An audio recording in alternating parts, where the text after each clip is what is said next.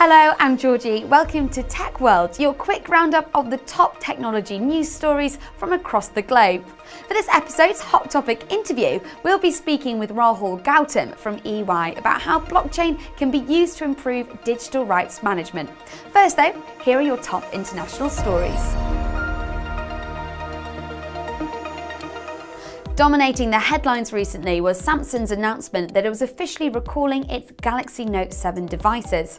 This followed claims the smartphone was overheating and self-combusting. Customers who have a Galaxy Note 7 have been told they can exchange their phone for another Samsung device or receive a full refund.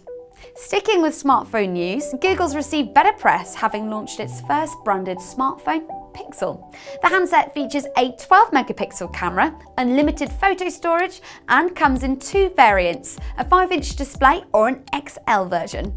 Prices start at £599 and it comes in three colours, very silver, quite black and really blue. Over in Poland, e-commerce platform Allegro has been purchased for a massive $3.25 billion. The firm is described as a Polish equivalent to eBay and it competes with eBay and other auction sites within the Eastern European online retail space. Mark Zuckerberg has been making headlines again. He responded to calls from the tech community to address the fact that Facebook board member Peter Thiel donated $1.25 million to Donald Trump's presidential campaign. He defended Thiel's stance, stating that it helped create diversity within Facebook's board. Snapchat is rumoured to be preparing for a flotation on the stock market, which would value the firm at $25 billion. The listing would be the largest social media float since Twitter went public in 2013 and could happen as soon as March next year.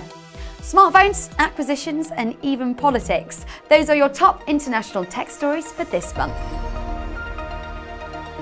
For this episode's Hot Topic interview, I spoke to Rahul Gautam from EY about how blockchain can be used to improve digital rights management. Welcome to Tech City News. What do we mean by digital rights management? Digital rights management looks at all of the business capabilities from uh, producing content to managing content to distributing it and then finally to monetizing content that a media company needs to operate in order to make money in today's environment. And is that across all different types of media? Yeah, everything from television to film to music. What's wrong with existing methods of digital rights management? Well, today's rights management capabilities were broadly created for a business model that was relevant 20 years ago. If you fast forward to today, we've got the internet, we've got uh, digital distribution platforms for television, we've got download and streaming services for music, these rights management capabilities weren't designed to handle a, a, billion people downloading songs in every country in the world. Yeah, incredibly out of date. Yeah. Um, blockchain is being hailed as a solution to this though. Can you tell me a little bit more about that? Yeah, we're very bullish on the role that blockchain can play in the future of rights management, mainly because of the scale of the challenge at hand. There are so many consumers on so many connected devices today consuming content of all forms that the prospect of being able to manage who has the ability to access that content, how much that content should cost, and where that money should go at the end of the transaction is extremely daunting for the existing technologies.